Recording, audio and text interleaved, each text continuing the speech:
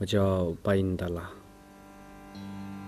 巴音达来，巴音达来，来自新疆伊犁的蒙古族。来北京之前，在那个内蒙古电视台工作，唱合唱，无伴奏合唱。我是一一年十月来的，第二年的六月开始做的乐队。又是因为在电视台上班，然后待了内蒙古五年，四年没有回家，因为我家里人不让我回去。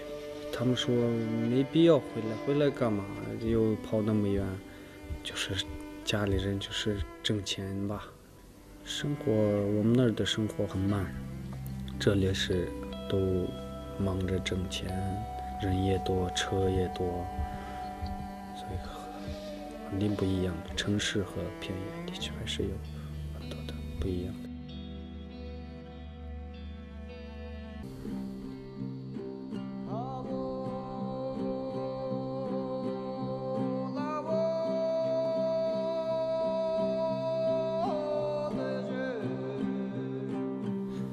阿乌拉就像我们小的时候特别爱说的一个绕口令类的一些东西，我就小的时候特别爱说这个。后来那天我去山里，然后当时即兴的去唱了一下，因为那当那天的环境特别好，特别美。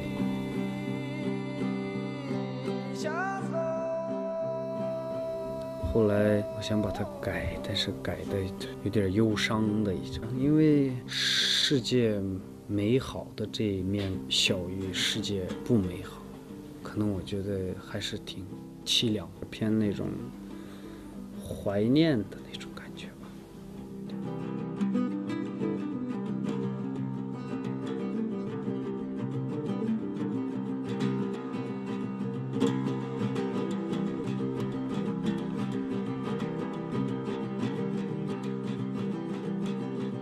现在所做的音乐其实不是代表一个民族，其实就是自己生长的这个过程当中、环境当中所听到的、看到的，直接的影响你。而你自己能想象出来的东西，你也没法预料它靠近是什么民族的感觉。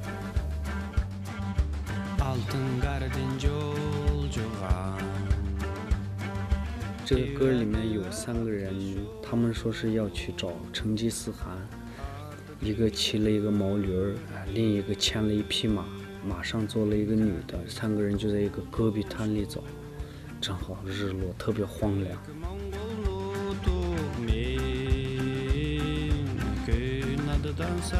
其实我们的生活跟自然离不开嘛，现在慢慢的人的需求太多，破坏也会很多。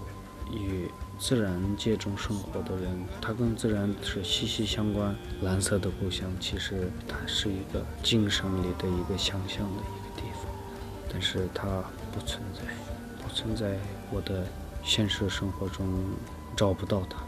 他的神已经离开了我们，去别的地方。但是我想要找到他。对，蒙古故乡，蓝色故乡。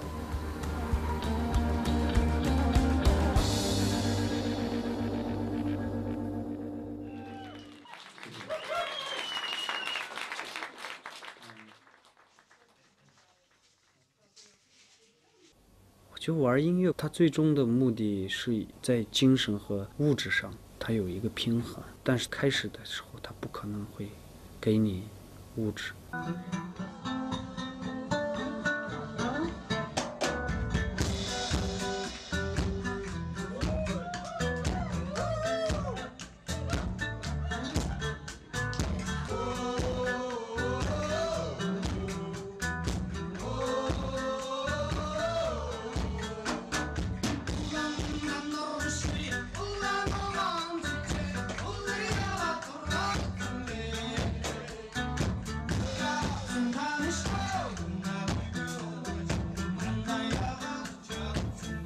做一个辣条子，做个大盘鸡，做自己喜欢吃的饭。